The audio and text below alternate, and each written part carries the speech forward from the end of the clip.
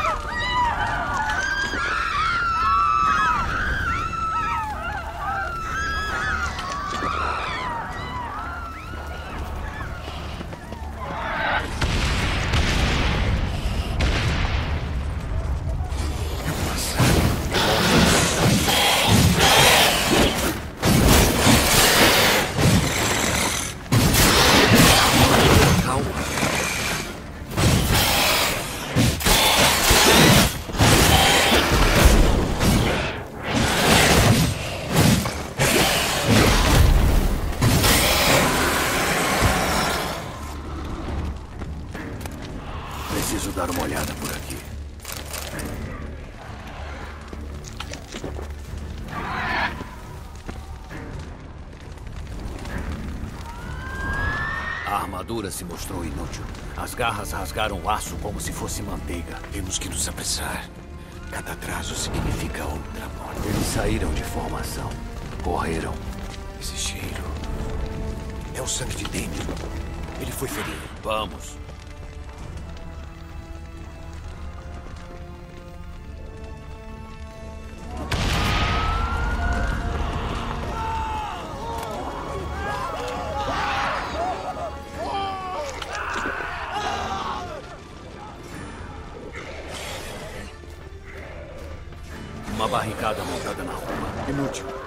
Isso não é obstáculo para um vampiro. Eles não sabiam. Não tive a chance de prepará-los.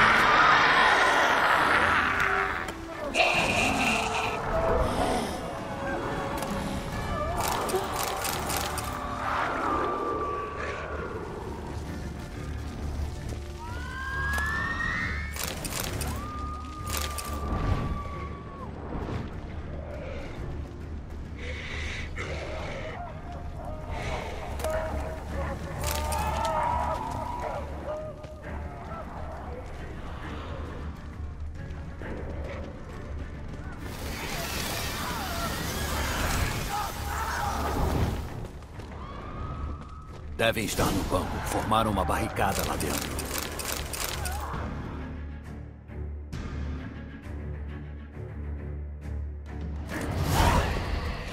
Você o matou. Sozinho? Aquele crio de mulherete massacrou metade da minha unidade. Vejo que o crio de mulherete quase o massacrou também. Vocês precisam recuar, você e seus homens, agora. Meu dever é com a cidade. Você não ajudará a cidade levando seus homens a uma chacina. Demian, lembra da nossa conversa no palácio? Vou dizer novamente, seus homens não têm chance.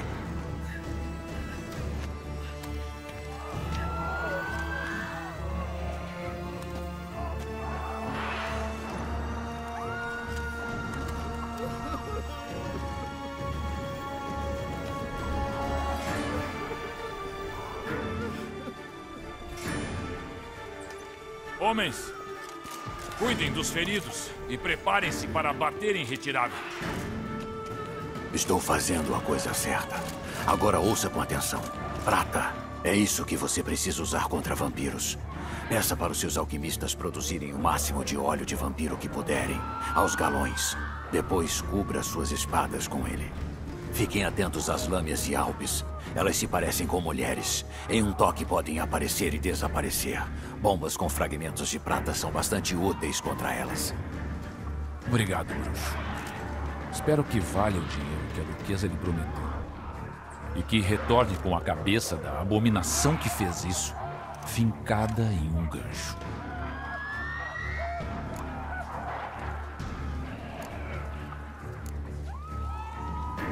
Tem um plano diferente. Hum. E qual seria ele? Tudo que posso dizer no momento é que vou precisar da Ciana. Você sabe da decisão da duquesa. Ciana está aguardando o julgamento. Em custódia. Nós sabemos disso, mas não concordamos. Você tem esse luxo. Eu não. Jurei minha lealdade à sua excelência.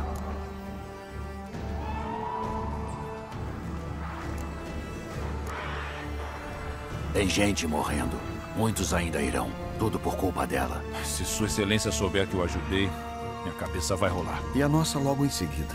Ainda assim, estamos preparados para assumir o risco. Ah, acredito que perdemos nosso tempo aqui. Venha, Gema. Espere. Quando.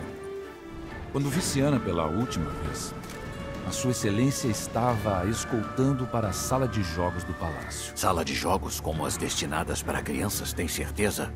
Eu sirvo no Palácio do Cal há muitos anos. Conheço cada canto.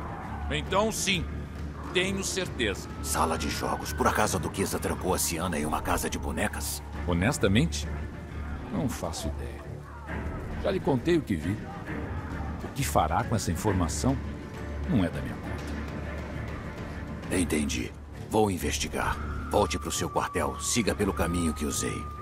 Ele deve estar seguro.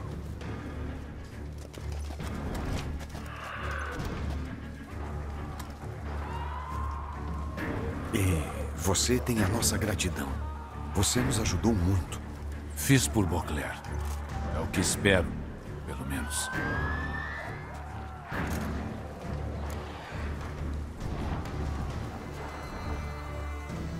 Vamos, Regis.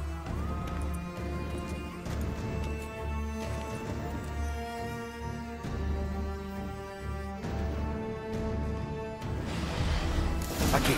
A sala de jogos fica além desta porta.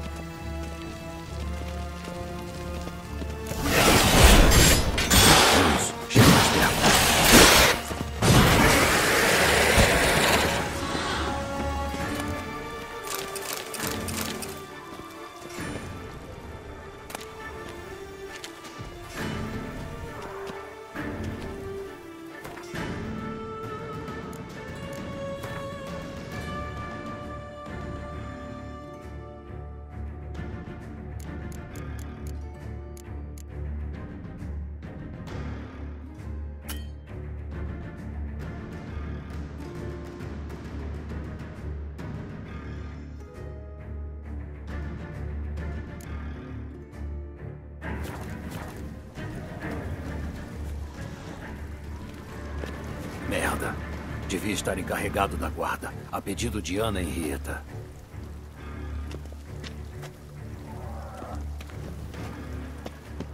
Trancada, é claro. Regis, não estou disposto a trocar socos com essa porta. Se importaria. Nem um pouco.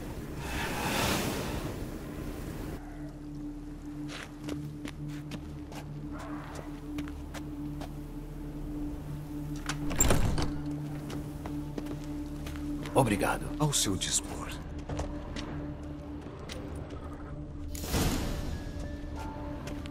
Algo dentro? Silêncio total. Não, ninguém Vazio. aqui.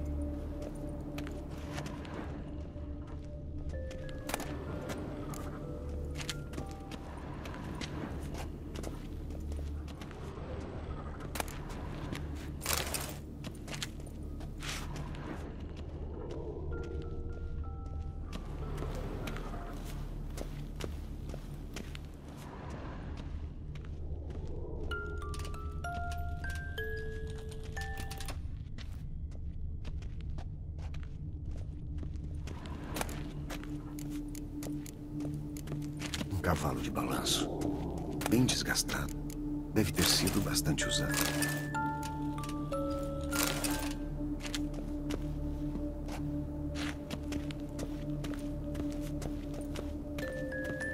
Um cavaleiro de lata. Espelho, espelho meu. Eu desprezo essas coisas. Um pato de madeira. Alguém quebrou as asas. Bela melodia. Realmente agradável. É uma pena que o mecanismo esteja danificado. Louça em miniatura. E brinquedos de pelúcia. Fofo.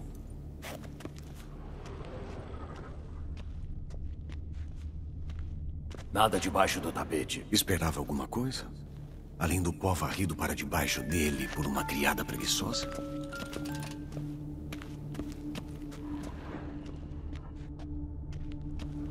Ora, ora. Uma chave escondida atrás do quadro.